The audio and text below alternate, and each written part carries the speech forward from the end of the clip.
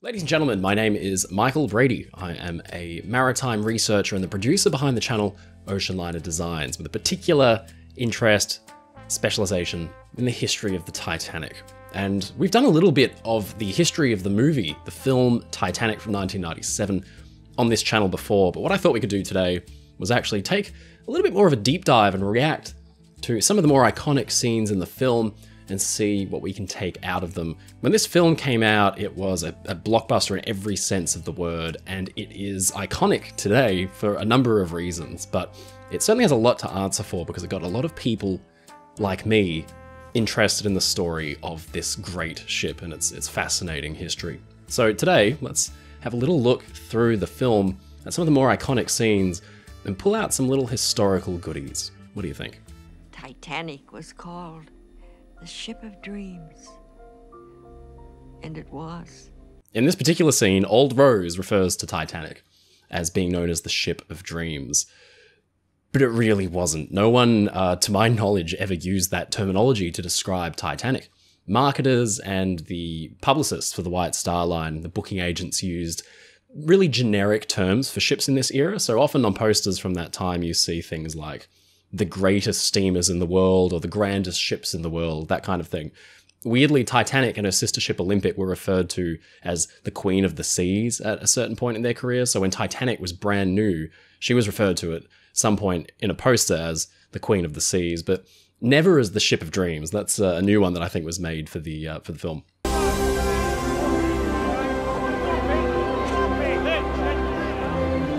Brilliant scene, beautifully set. This, of course, shows Titanic on the day of her sailing from Southampton, April 10th, 1912. So this is the White Star dock with the uh, the big sheds where passengers would have been expected to go through. So you can actually see those earlier in the clip.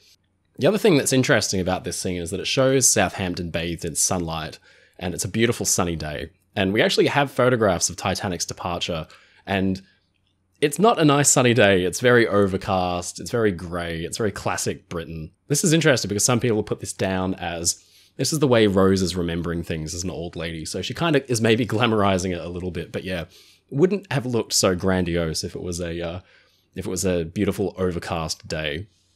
It doesn't look any bigger than the Mauretania. It's over 100 feet longer than Mauretania, and far more luxurious.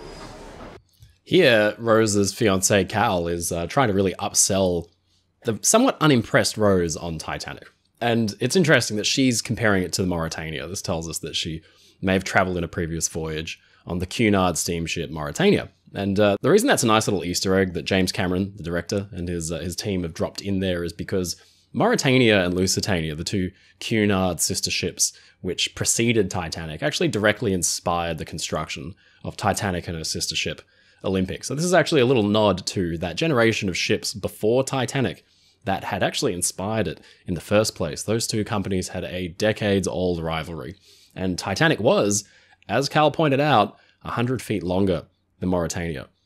But was it more luxurious? This is this is one that's up for debate. Titanic is in some places absolutely beautiful, there's no doubt about it. But in other places, Harland and Wolff, the shipbuilders, used very kind of copy paste design methodology. They used a lot of interiors that they'd used on other ships from the recent past, and actually they just kind of upscaled a lot of interior designs that they'd used. So if you compare photographs of the interiors of ships from the Big Four, which was uh, the series of White Star transatlantic ocean liners before Titanic, you can actually see that a lot of the space is very, very, very similar to what you'd see on Olympic and Titanic, just scaled up.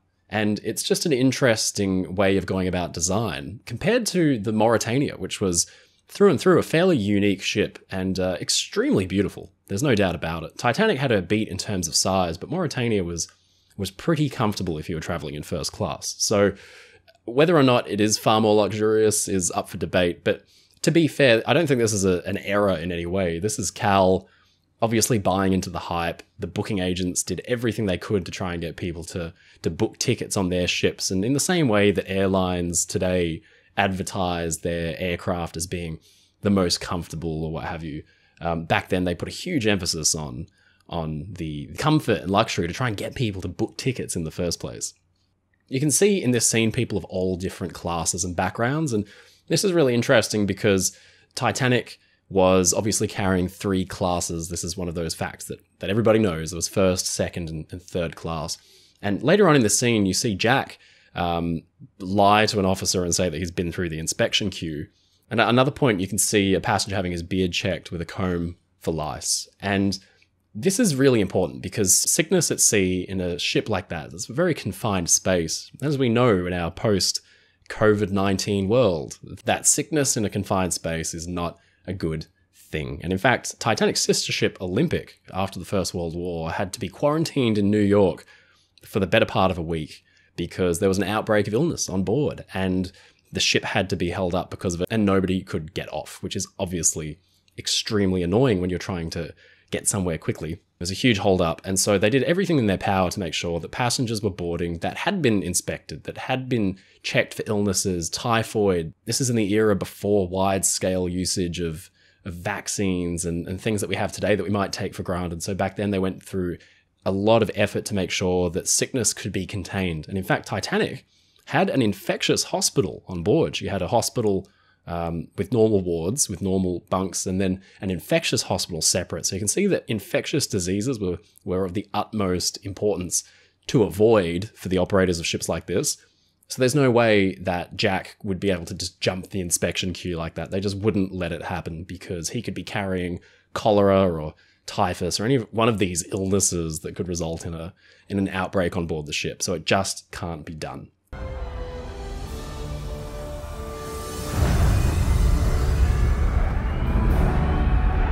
There's a, a funny little moment here where the Titanic's propellers begin to turn, and you'll notice that the central propeller is immediately engaged. It starts turning straight away, but that was actually not possible in real life because the central propeller was turned and operated by a low pressure steam turbine, which was different to the engines outboard of that, the ones that operated the other two propellers on either side of it. They would be engaged directly by the, the engines actually turning the crankshaft and then turning the propeller. But the central propeller needed to take the steam that was being funneled and vented out of those two main engines into the turbine, which would then begin to slowly rotate like a fan. And that would turn the central propeller but it took a lot of steam pressure to get to that to get to that point. Titanic needed to be going at a fair clip for the central propeller to actually begin to move. And in this scene it starts straight away but that's not really a big deal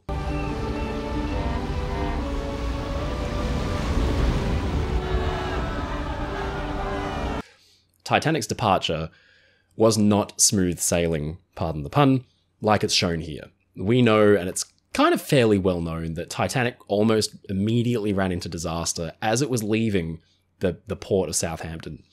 Shortly after this sequence, Titanic passed uh, a row of ocean liners that were, were tied up and um, with, with onlookers on board watching Titanic go past.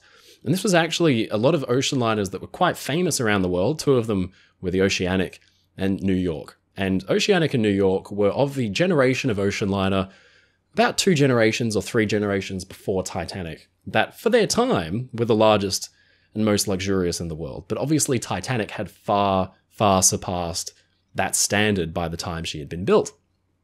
So, Titanic displaces about 50 odd thousand tons of water, which means that she's sitting low in the water, she's beginning to move, and all this this momentum is actually drawing water in around her. So as she passed New York and the Oceanic, there was the sound of like a cannon going off and, and then another one. And what was happening was, as Titanic was passing these two ships, the strain of Titanic passing, displacing this water and sucking these two smaller ocean liners in, actually caused them to be drawn in towards the ship.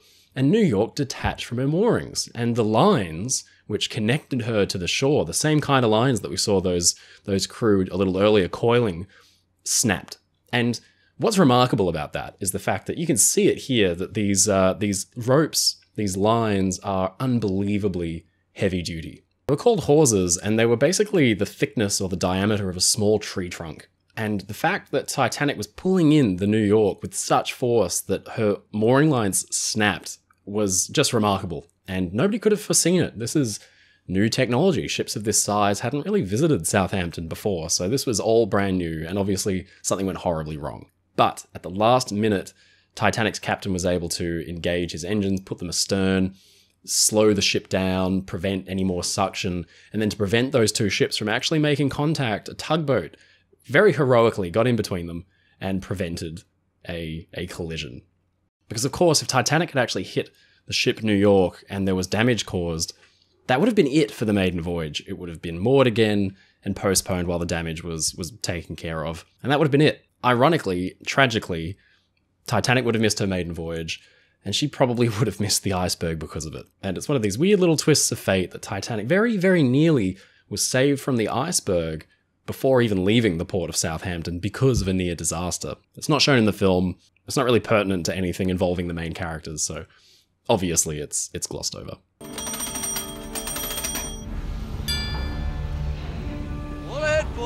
So this has got to be one of the most iconic scenes in the film when Titanic's engines worked up to full speed once she's left the Irish coast and she's heading for the open ocean. And what's really interesting about this is they filmed this on a real steamship, um, which had used engines very similar to Titanic's, although at a much smaller scale. You can see here they're stories tall, about three stories tall, and they're the size of small buildings each. Each engine weighed between 700 and 900 tons. Very impressive pieces of machinery. And the man at the centre of it all is Chief Engineer Joseph Bell, who was from the very north of England, and he was a White Star Line veteran. You actually see him in the clip here represented. He's a very proud man. He had been on board Olympic, Titanic's uh, sister ship, the one that had actually gone before her and completed the maiden voyage just fine. And he had worked those engines up and he had overseen the running of the ship on its maiden voyage. So for him, this was fairly run of the mill stuff. There must have been a lot of excitement, a lot of pride to actually be in charge of this machine. But Bell and his men were used to running these things, and so this was a, a routine assignment, but there must have definitely been some pride about being the first to take a ship like this to, to open ocean and working those three story tall engines up to full speed for the first time. This angle here in real life would have been impossible. You would have been staring at a blank wall. Where Joseph Bell is standing right now, behind him would have been the turbine room, where that third engine that I was telling you about would have sat nestled in between tons and tons of other machinery like pumps and things like that. But obviously, for uh, for storytelling's sake, we get this fantastic open view of the engine room with Bell looking up proudly at his uh, machines as they get to work.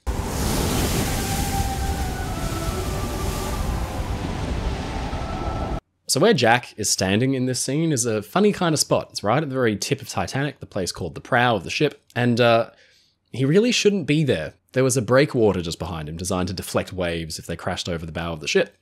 And on that breakwater was a sign which essentially said, "No passengers are allowed forward of this." So Jack's kind of breaking the rules here. But I don't know how strictly maintained and enforced that rule might have actually been in real life. The reason they didn't want passengers up there is because there's a ton of very scary machinery that, at the very least, you can trip over and hurt yourself break an arm or something like that. If it was operating when they were in port, though, it was a completely different story because these machines are small steam engines, they're steam powered, they've got unbelievable torque, and if you get a an arm or a leg wrapped around a capstan, one of these drum like things that would have rotated and taken lines in to moor the ship, it would just take an arm or a leg off. So obviously, White Star Line doesn't want passengers up there. But on other ships from the era, once the ship was at sea, you can see passengers kind of just hanging out in places where they probably shouldn't. So the question is, was it really that strictly maintained at sea? Probably not. Obviously, this area is in full view of the bridge.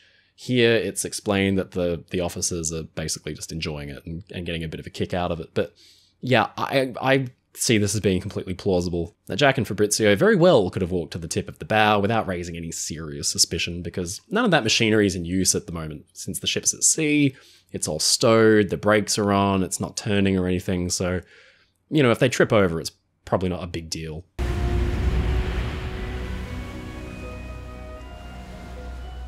The infamous million dollar shot, as it's known, this is a giant model of the ship that's actually bigger than most uh, sailing yachts, private sailing yachts, that was built specifically for the film. You can also see here that Titanic is flying uh, what's known as the Blue Duster or the Blue Ensign. Now, most merchant ships of that era would have flown a red version of this flag. So, this is a really nice little historical detail because this was actually quite an honor for a, for a merchant ship to be able to fly the blue version of the, the merchant flag, the ensign. The blue version, the blue duster, denoted that a substantial number of the ship's officers and crew were members of the Royal Navy Reserve and especially her commander, her skipper. Captain Smith was, in fact, a Royal Navy Reserve officer with a fairly senior rank, and so he had earned, along with many of his officers, the right to fly the Blue Ensign. A very nice little detail that they, they got dead right. Another nice little detail is that as you're flying over the four funnels of the ship, you can see a ton of smoke coming out of them. And then in the fourth funnel, you can see there's just a little wisp of smoke. And a lot of people would say, ah, that's fake, that's wrong, because everybody knows that the fourth funnel wasn't connected to the boilers, it was a dummy and therefore it, it wouldn't have had smoke coming out of it. But that's exactly the right amount of smoke it would have had pouring out of it, just a little wisp, because it was actually connected to uh, two or three fairly smoky things. One of those was the only functioning fireplace on board the ship down in the first class smoking room directly below it. There was a flue that led from the fireplace up the fourth funnel. And then down below that were the galleys for the ship. These are the main kitchens for the first and second class dining saloons, with big ovens that, of course, would be creating uh, their own exhaust gases. And so all of that's being sent up the fourth funnel. So it played a really important role in the ship. And this is a nice little detail. I'm sure it would have possibly even smelt like cooking food from this angle. Yes. Here, look at this. Oh, look at that, would you? And a bit warm in the wheel. So this is the night of the collision, April 14th, 1912, just before midnight. And this is where we start to divert a little bit from from history. You would watch this and actually not be mistaken for thinking that Titanic's lookouts, the two men depicted here, Fleet and Lee, were distracted. They were looking down at passengers, in this case it's Jack and Rose, but you might be mistaken for thinking that they got distracted and missed the iceberg, turned around there it is, sitting directly in front of them. But it's just not true. Lookouts, Fleet, and Lee were fairly experienced and trained lookouts. They were specifically on the ship to do that role, to keep lookout in, in regular watches. And that night it was bitterly, bitterly cold. It was miserable up there.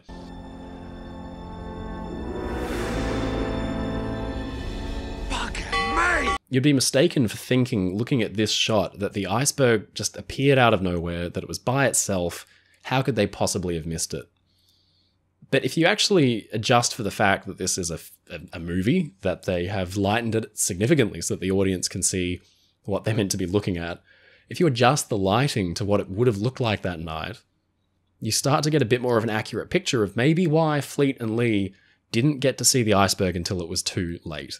And of course, they really weren't distracted. There weren't any passengers about down there you know, canoodling to uh, to distract them. And actually, this is interesting because it's where Cameron begins to uh, change the the narrative a little bit of history and, and place some blame on um, historical characters that probably don't deserve it. You would also be mistaken for thinking from this shot that there was just one iceberg in the middle of the ocean. It's very unfortunate they ran into it, but Titanic was encountering field ice. There were actually lots of icebergs, lots of smaller bergs known as growlers that would have floated kind of along the ship's side.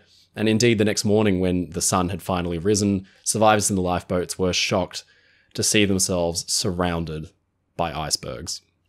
We better get the women and children into the boats, sir.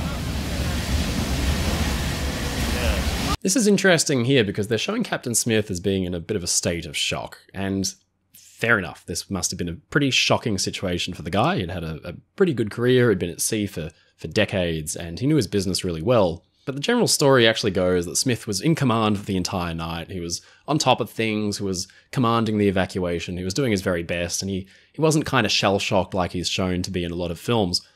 Probably the most important part of this scene is his conversation here with Second Officer Charles Lightoller, who's the fellow that's talking to him, saying, Shouldn't we get the women and children into the boats? There was a point where Smith spoke to the two officers who would be in charge of loading the boats for either side of the ship. Charles Lightoller, second officer, for the port side, or the left side, and first officer William Murdoch for the starboard side, or the right hand side of the ship. And Smith essentially told them that he wanted women and children in the boats first. Now, Murdoch, on the starboard side, interpreted that to mean probably what Captain Smith meant, which was to fill the boats with women and children, and then load the boats totally uh, with men if there were extra spaces for, for seating.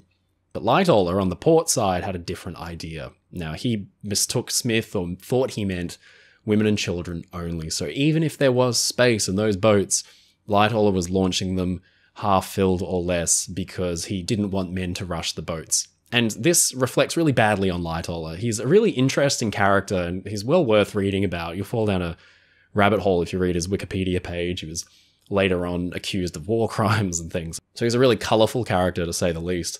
But he was probably hoping to avoid the kind of scandal, the kind of shame and shock that had resulted in other shipwrecks. In the years before Titanic, there had been a series of wrecks where crew had rushed to the lifeboats at the expense of passengers. Women and children were left behind. There was absolute disorder on board. And so I think that as a company man through and through, he wanted White Star Line, he wanted Titanic to be orderly. This is actually reminiscent of another British shipwreck, the Birkenhead. She was carrying a lot of uh, Marines, a lot of British soldiers on board in the 1800s, as well as women and children. And when she ran into trouble, ran into disaster, the ship was sinking, and the order went out women and children first. They were put into the boats, and very famously, the men and the sailors and the, the soldiers of the Birkenhead stayed behind and went down with the ship. And so that was seen as like the the ultimate sacrifice. The selflessness was obvious and, and quite an extreme example of that. And so that's probably what Lightoller was wanting to recreate in this instance, rather than the, the kind of panic and, and chaos that you'd seen in uh, in other shipwrecks in very recent memory. It's just an interesting little conversation. You can kind of see the way Lightoller is quite a severe character in this uh, in this scene. He's played by a great actor. Brave, Liz! That's right! Come towards me! You! Good! So there's Lightoller saying he's, he's only taking women and children, but you will have noticed that there was a little moment where he was trying to get the crowd's attention. They're not really listening to him, and then suddenly the, the massive roaring sound just ceases, and there's nice silence. And now you can finally talk to the crowd. And what had happened was Titanic was steaming along at full speed before she hit the iceberg, and so because she stopped so suddenly, all of the steam that was used to power the engines had to be vented out of the ship. And the way that they would do that is they had these massive waste exhaust pipes that were on either side of the funnel there, and they led down into the boilers directly, and they could be used to vent that steam straight out of the boilers out the top of the ship. But the downside was the sound was horrendous. And so for quite some time after Titanic hit the iceberg, while they were figuring out what was going on and what was wrong with the ship, those funnels were venting steam and nobody could hear themselves on deck. And passengers were freezing cold. It was dark out. They had no idea what was going on. And it was really loud. And so naturally, a lot of them went back inside. They didn't want to be there in the first place. It was just too loud. But fortunately, at around about the time they start loading the first boats, the steam ran out. Titanic's lifeblood, what had been powering the ship across the Atlantic, suddenly ceased. And it's actually a pretty ominous sign, but in this instance, now it means passengers and crew can hear themselves think it's probably more of a good thing.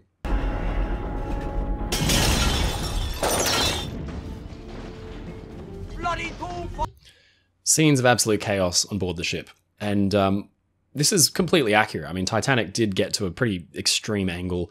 Probably not as much as is seen in the film. They think that she probably reached about 20 degrees, maybe 30 degrees maximum when she was rearing up like that. And the film shows it more as like a 40, 45 degree angle, but it's it's really not a huge um, huge issue because it would have looked like it was 45 degrees. I mean, this is a pretty extreme thing. The sound was overpowering because suddenly anything that wasn't tied or bolted down, like the furniture, like the plates, like all that dinnerware, it's just crashing and, and being destroyed. Sinking ships are shockingly loud. I actually did a video on this a couple of years back where um, the water pressure actually has a very interesting effect on things like windows. It'll shatter them, it'll blow them inward. All you get while the ship's sinking is the sound of timber ripping, the steel bending, the ship basically renting itself apart. And of course, it does actually break into two sections. But then the glass, lots and lots and lots of glass. Anytime a window touches water, if it's not flooded on the inside, after a couple seconds, it'll be busted inwards. And so there's a lot of sound. It's not a calm, gentle thing. There's just a lot of violence and a lot of noise.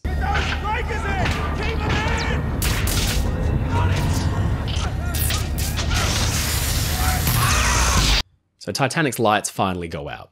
Now, this is pretty true. It's thought that Titanic's lights had stayed on throughout the night because her electricians, her engineers were keeping some of the boilers running towards the stern of the ship so they could power the electric dynamos, which gave the ship her light. And just before Titanic broke in half, or around about the time that she did, it's kind of up for debate, the lights snapped out. Now there may have been a couple burning still. There may have been some uh, some oil lamps that didn't rely on electrical power. There may have been some emergency lamps powered by by other dynamos. But the, the general consensus is that the lights snapped out black and the ship was plunged into darkness. What you can see in this scene is men down in the uh, the dynamo gallery, down in the turbine engine room, where there's a massive, essentially like electrical hub for all of the circuits, the major circuits on the ship, and it is absolutely not where you want to be in a sinking ship, anywhere near any of that kind of equipment. Now, were men down there at the time Titanic broke in half? Probably not. The engineers were actually seen on deck right at the very end of the sinking. The men had stayed down there, keeping the lights burning all night, and then they were released from their positions and they were allowed to uh, to escape up through ladders. So they didn't actually have to get through the interior of the ship. There were ladders that led from their position down in the bottom all the way out through the top through things like engine skylights and that kind of thing. And they were let out, and so they were actually seen on deck. So it's unlikely they they died in this kind of horrendous way that you see in the in the film here down in the bottom of the ship. They they probably were on deck with the rest of the passengers, but it's shocking that naturally uh, the majority of them did perish in the sinking, and it's because they did stay behind, keep the lights burning, and regardless of whether they died inside or outside the ship, it shouldn't take away from their um from their heroics.